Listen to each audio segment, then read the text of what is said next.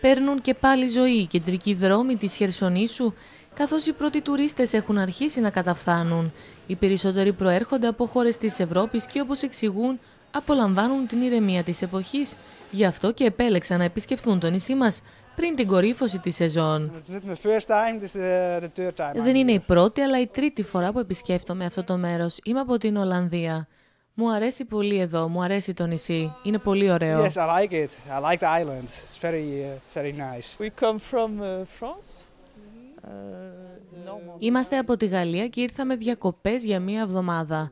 Είναι πολύ ωραία εδώ. Yes, it's, uh, it's nice. but- Μπορεί να είναι ακόμα νωρίς για να έχουμε μια ολοκληρωμένη εικόνα της κίνησης, καθώς σύμφωνα με τους καταστηματάρχες, η σεζόν ξεκινάει να ζεσταίνεται μετά το πρώτο δεκαπενθήμερο του Μαΐου, ενώ κορυφώνεται από τα τέλη Ιουνίου και μετά. Μην ξεχνάτε ότι ήταν το Πάσχα του την προηγούμενη Κυριακή και κανονικά έπρεπε να είχαμε περισσότερους, πιστεύω εγώ.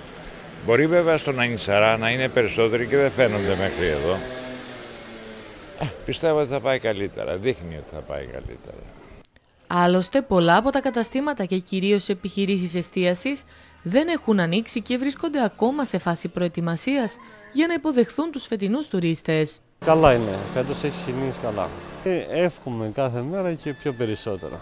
Κυρίως έχουμε τουρίστες από Γερμανία, ε, Αγγλία, Γαλλία, Ολλανδία. Φαίνεται ότι ξεκινάει καλά.